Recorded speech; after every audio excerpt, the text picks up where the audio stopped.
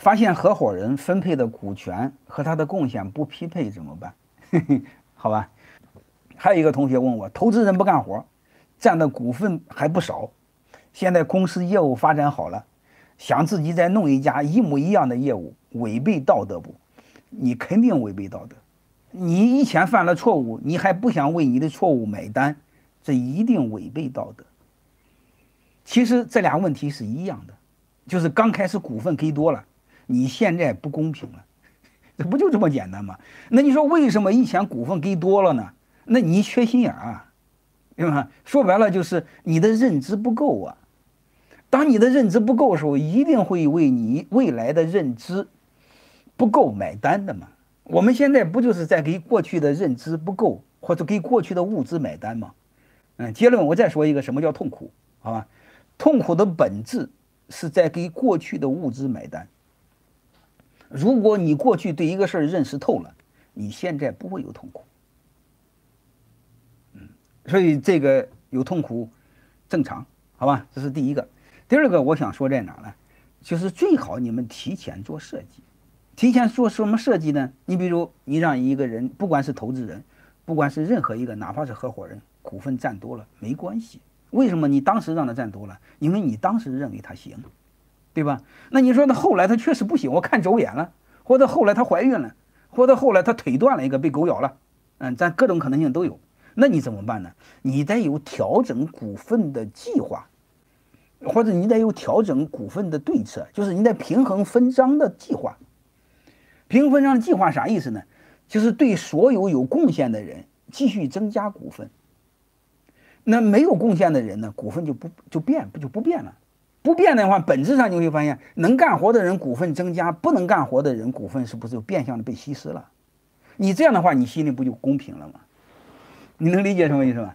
你看，那不能干的不变，能干的越来越多，那变相的是不是就被稀释了？其实就一句话，你们提前没有设计好，就是对有贡献的人继续做股权激励，能理解意思吧？继续做股权激励啥意思呢？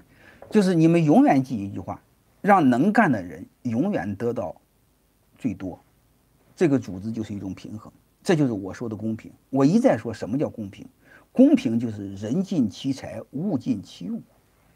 但是你会发现这两个他就不匹配，为什么呢？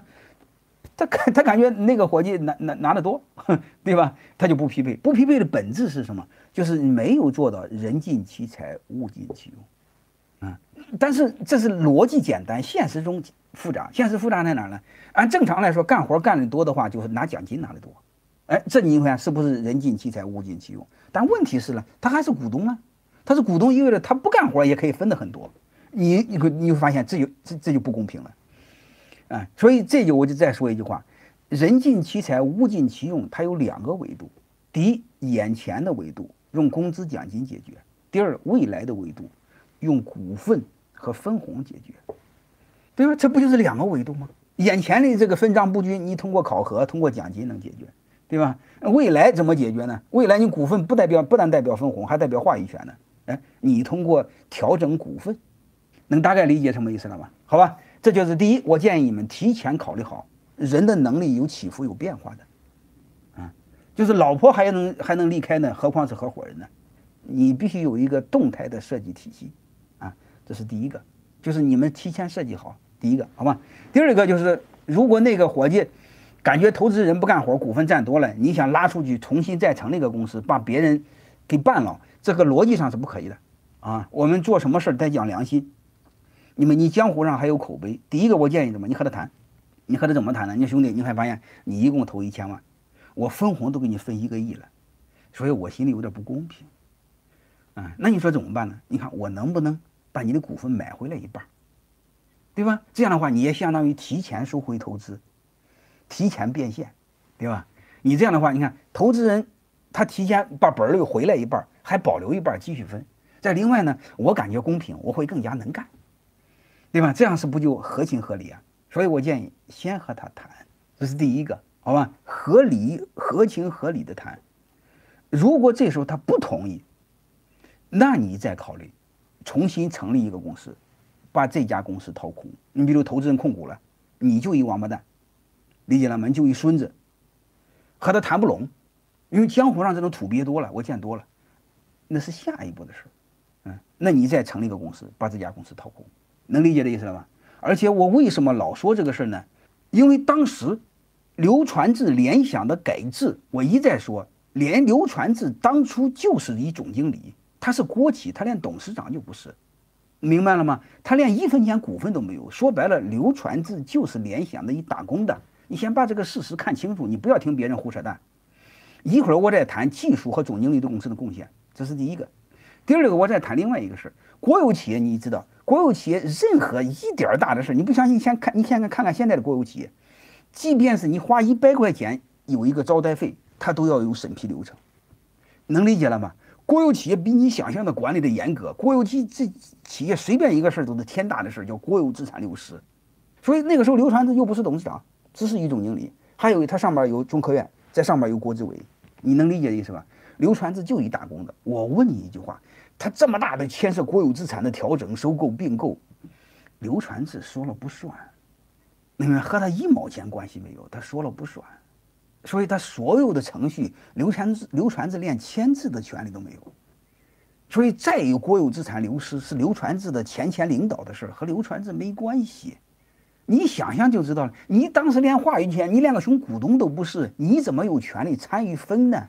对吗？参与分的前提，你得有权利动刀啊，对吗？你连摸刀的权利都没有，你怎么能多分呢？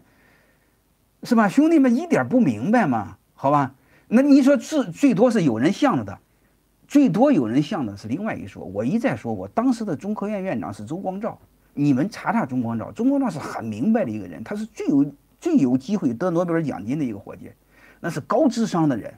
有空我们很多人不明白，就是人变态就变态到这种程度。清华的紫光死了吧？北大的方正死了吧？能理解了吗？最起码中科院联联想现在还活着呀，这是第一点。第二点呢，当时的改，当时的情况就是改制。改制就是国有企业把大部分股份让出去，让管理层持股，这家企业能活着。因为要不改，国有企业全死了。你能理解了吗？这是一点。第二点呢？第二。第二点呢，当时是周光召是个明白人，就是让员工持股，啊，就这么一点。然后我再给你们谈一个，你们又是开始又是开始说这个事儿了。马院长有点儿呃，有一点这个洗刘买办的嫌疑。兄弟，啥叫买办呢？好吧，你看你们张嘴就是买办资本家工资，你不要张嘴闭嘴就是宏大的叙事。啥叫买办？先回到事实上好不好？我说的不是事实吗？能明白的意思了吗？所以当时是周光召批的。然后我再说一个事儿，你看看刘传志和那个白岩松的对话。刘传志当时就说一句话，他说：“如果员工没有股份，他有可能出去拉杆子重新做一个。”你们能听明白了吗？他是有权利拉杆子出去的。我大不了我辞职不干了，怎么不可以呢？你要知道，刘传志只要辞职不干的话，他真可以把联想所有的人都带出去，联想只剩一个空壳。你能理解的意思吧？这不太简单的事了吗？泰山管理学院，我就就是我从山东大学带出来的呀，我什么都没要，我就把人带出来了，人带出来不就业务带出来了吗？我从一分钱股份没有，变成股份全是我弟兄们的呀。所以这些这是最基本的，你们张嘴不要谈买办资本家赚了便宜。真正赚便宜的是，是我问你一句话：中科院的牌子大还是清华的牌子大？清华之光怎么给作死了呢？北大方正给作死了呢？所以这是我最基本的一个东西，你不明白吗？嗯，你比如我泰山管理学院从山大学带出来，那你说我赚他的便宜了？我告诉你，我一分钱便宜都没赚，因为我什么都没带，我带的人。你 你能理解？你能理解这意思吧？那你说我，那我赚，那你说我当时赚了什么便宜呢？我赚，你找不到证据啊！我跟你说我赚什么便宜？我什么都没要，但事实上我告诉你，我把业务都带出来了，你咋的？这不就是背后的一个东西吗？他人是活的，你看创造财富的是人，能理解了吧？而不是资产。就是我一再说，这个社会上要被尊重的是人，而不是资产。一会儿我再跟你谈资产。好吧，这个扯远了，就不管怎么扯到这，你就知道怎么回事就刚才那个伙计，我跟你谈，你先和你的投资人谈，让他转给你转让一点股份。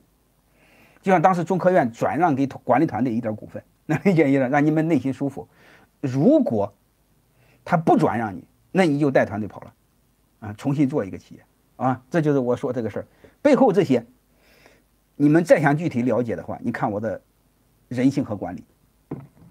背后我想说一个事儿在哪，就是我们不管谈任何事儿，就是不能把历史和现实割裂。当时就当时谈，现在就现在谈。当你把历史和现实割裂是不可以的。我不是给你们讲过一个故事吗？有一个伙计在澳大利亚贩毒，法官判他，当时那伙计就来一句话，他说：“几百年前你们西方人卖给我们鸦片，那你们也贩毒了。”当时法官桌子一拍，恼火，历史和现实割裂，然后你重罪，没什么可商量的。所以我问你一码一码归谈一码嘛。而且你会发现，这时候以宏大的叙事，以国有资产，以所谓的买办，以资本家剥削的名义，以宏大的叙事煽动民情，煽动民愤。这个背后，我一会儿再谈这个事。这背后风险很大的，为什么呢？你看这句话，昨天这个中央经济工作会议专门说了几句话哈，六稳六保，能理解的意思了吗？专门说。是认认识到富有竞争力的企业是高质量发展的伟观基础，必须弘扬企业家精神，充分信任、依靠和尊重企业家。这是昨天中央的经济工作会议说的，发挥企业家在推动企业创新、提高企业竞争力的重要作用。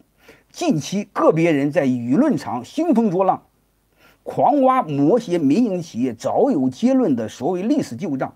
这与中央的政策导向是背道而驰，需要各个部门、各级政府围绕两个毫不动摇，发出更加明确、强烈的政策信号。这不是明白这个事儿了吗？是说的多好的，是个别人在舆论场上兴风作浪，狂挖所谓的历史旧账，对吧？这是你稍微有点智商的人都能判断出来了。有些小人物忽呃是忽悠民民忽悠民民愤民意。你听不懂，听不明白嘛？然后自己还道貌岸然，站在高道德制高里制高点上指责人家。你通过昨天的中央中央经济工作会议，你就会发现，我的观点没错吧，兄弟？你能理解了吗？再具体就是看我的人性和管理的课，看我的股权设计课，不要再犯这样的错误。这我们你看草根太容易犯这样的错误，而且都是天大的错误。